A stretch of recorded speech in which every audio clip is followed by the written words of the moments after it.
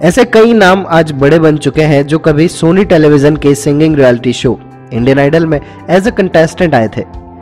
आज वो सभी नाम इतने मशहूर हैं कि वो किसी पहचान के मोहताज नहीं है, जैसे सलमान अली, सनी हिंदुस्तानी।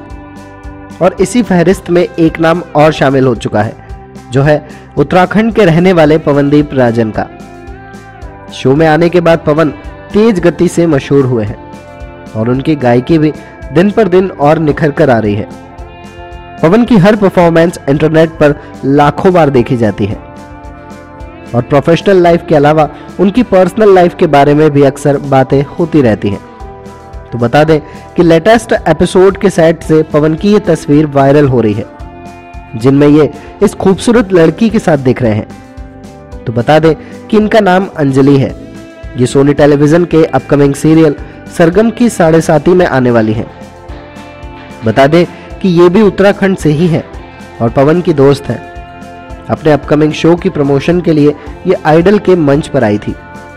और जाते जाते उन्होंने पवन को कहा wish you all the very best पहाड़ी दोस्त. तो इस तरह अंजलि ने पवन को आइडल के सफ़र के लिए शुभकामनाएँ दी। क्या आपको भी पवन की गायकी पसंद है? अगर हाँ तो नीचे कमेंट बॉक्स में लिखकर ज़रूर बताएँ। Thanks for watching. For more update, subscribe now.